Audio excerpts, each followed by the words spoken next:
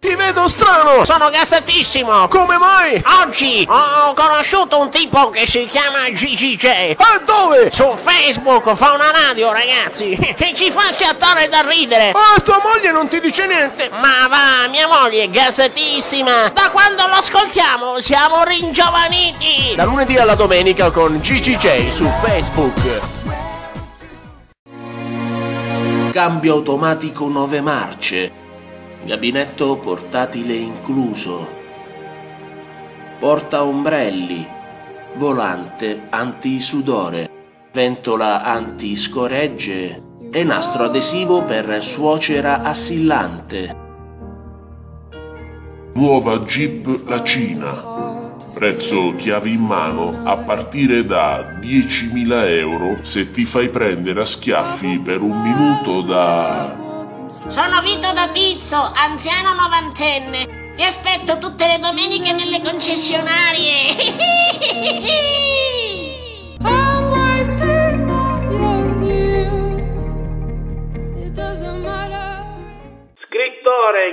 maestro spirituale con noi su Radio Facebook, Manuele Dalcesti, buonasera e benvenuto. Buonasera, grazie mille per la disponibilità. Un excursus della tua vita per coloro che ci ascoltano su Radio Facebook, Manuele. È una cosa lunga, sintetizzo il più possibile. Lavoravo nella casa editrice, venivo pagato molto bene, sembrava il ruolo della mia vita. Mi alzavo che non avevo più gioia, ero stressato, non ero felice, così ho preso, ho fatto il primo cammino di Santiago, ho mollato il lavoro, poi quattro anni da mendicante e adesso eccomi qua. Cosa vuol dire maestro spirituale, Manuele? Maestro spirituale, vabbè, lascia se lasciamo stare i titoli pomposi. Diciamo che il maestro spirituale ha l'unico scopo di riconnettersi con la tua anima, che molto spesso per varie ragioni ci dimentichiamo di ascoltare, come è accaduto a me d'altronde. E ti posso chiedere cosa sono i cammini del lupo? I cammini del lupo, ne, ne abbiamo accennato prima, sono di amici che hanno piacere a camminare insieme. Cos'è la meditazione dinamica Osho, Manuele? Eh, la meditazione dinamica è una forma di meditazione introdotta, in questo caso possiamo dirlo, dal maestro spirituale Osho, che al contrario della meditazione che, siamo, che, co- che conosciamo noi, è molto statica, in cui ci viene chiesto di, di punto in bianco di rimuovere i tuoi pensieri come se fosse una cosa volontaria, la meditazione dinamica invece parte dal presupposto che i pensieri possono essere eliminati solamente eliminando l'energia che li nutre. Quindi è una meditazione molto attiva, appunto dinamica, in cui si lascia emergere quello che uno ha dentro senza giudizio. Volevo chiederti da dove nasce, Emanuele, la tua passione per i lunghi viaggi, queste lunghe camminate? Eh, sai che non lo so, forse una di quelle cose innate, innate che uno ha dentro. Così io appunto ho riniziato col cammino di Santiago, però poi ripensandoci, già quando avevo 12-13 anni ho abitato a Casablanca, a Malaga, e ogni sera facevo 12-13 km, quindi credo che sia una cosa innata. In realtà poi credo che siano tutti ex nomadi rinnegati e che questo sia la causa della nostra infelicità. Quindi tornando a camminare ci avviciniamo un po' più a quelle che erano le nostre radici. E allora ti chiedo che esperienza ti ha lasciato il cammino di Santiago, Manuele? Beh, io ne ho fatti, ne ho fatti sette, ogni cammino lascia un po' un'esperienza, un'esperienza diversa. Chiaramente il primo, eh, il primo è un impatto, un impatto forte, perché comunque non sai niente.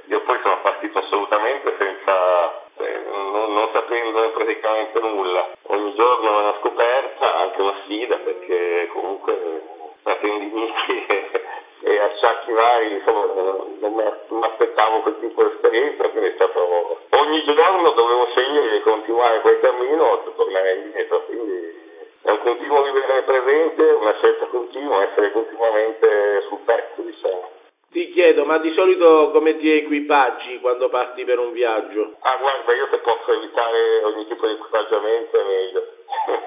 Nel senso che comunque quel- lo zaino, eh, adesso non vorrei mettere troppo sul filosofico, ma rappresenta il peso delle nostre paure. Più paure abbiamo, più riempiamo il nostro zaino. E io sto cercando di, per il momento, poi me ne sono rimaste poche, quindi metto proprio, una volta che ho una bottiglia d'acqua vado ovunque, ecco, non ho bisogno di molto altro. Volevo chiederti allora cos'è per te la libertà? Bella domanda. La libertà è senz'altro il principio di non fare male agli altri, la completa espressione delle proprie potenzialità, senza porsi né farsi porre dei limiti. Questo è l'unico limite che posso riconoscere. Secondo te, Manuele, il silenzio a volte cosa vuole farci capire? Il silenzio è fondamentale. Viviamo in un mondo che molte immagini, molte parole, molti chiacchiericci, ma molta poca sostanza. E il silenzio è quello spazio in cui cominciare ad ascoltarti, in cui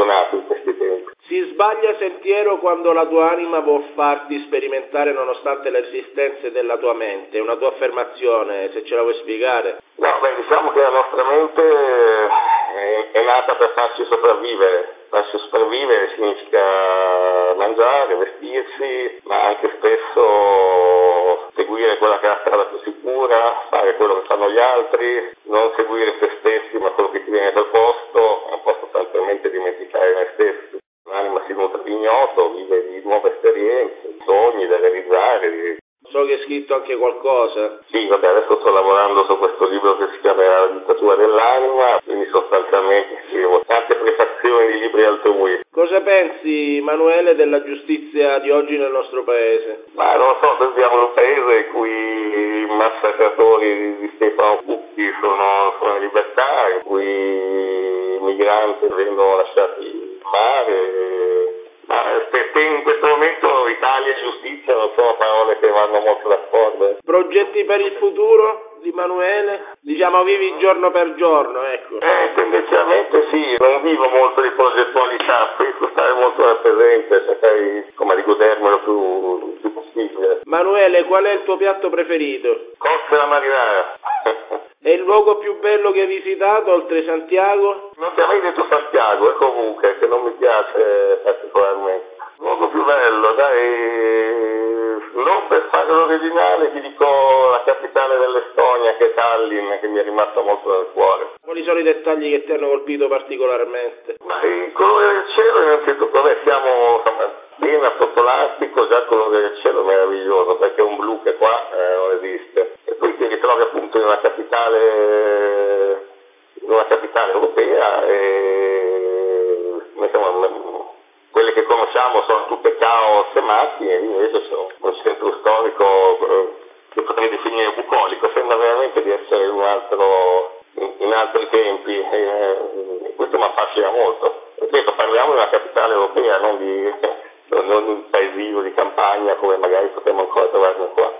Un'ultimissima domanda, di solito cosa ti ispira a partire? Eh, L'insoddisfazione che comincio a sentire a stare quando sto troppo fermo, una cosa che non posso, non posso controllare. A un certo momento sento proprio che è arrivato il momento di partire e cerco di farlo nel più breve tempo. Un viaggio a piedi in Calabria ti è mai balenato sì da fare? Guarda, onestamente non ci avevo mai pensato. So che la fila dovrebbe essere un luogo che eh, abbastanza affascinante per quelle che sono le mie inclinazioni. Quando troverò qualcuno che mi farà da guida, volentieri. La Sila è vista un po' come la Svizzera calabrese, ecco. Ci mancherebbe, grazie a te e un caro bacio a te. Ciao, ciao, ciao. Grazie a te, ciao.